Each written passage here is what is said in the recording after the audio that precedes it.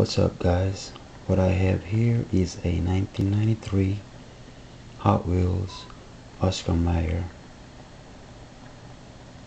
Um, you gotta have the, the winner man.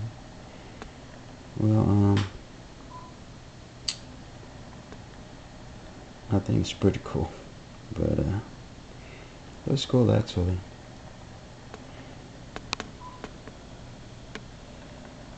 You just gotta hit the winner.